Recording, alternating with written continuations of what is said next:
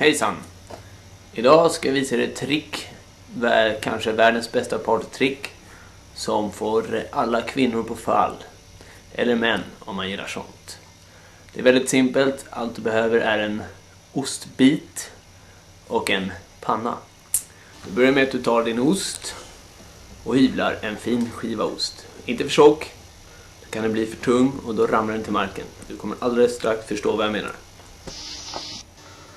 Se nu till att du har en ren panna, för det är där du ska placera ostskivan. Sådär. Jag ska nu med hjälp av ansiktsrörelser få ostskivan och komma ner till munnen. Där jag slutligen ska äta upp den. Får inte använda de här. Okej, nu kör vi. Det här, när den lägger sig över näsan nu, det är kanske den svåraste delen. Nej.